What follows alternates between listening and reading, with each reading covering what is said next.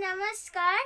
तपाईँहरूले मलाई please follow गरिदिनुहोला फेसबुक पेजेस अनि युट्युब च्यानलमा प्रज्वल ऱ्याङ्गिङ भनेर सर्च गरेर हेरिदिनुहोस् होला। थ्याङ्क यू आज म तपाईँहरूको समक्षमा यमन राग सुनाउँदैछु।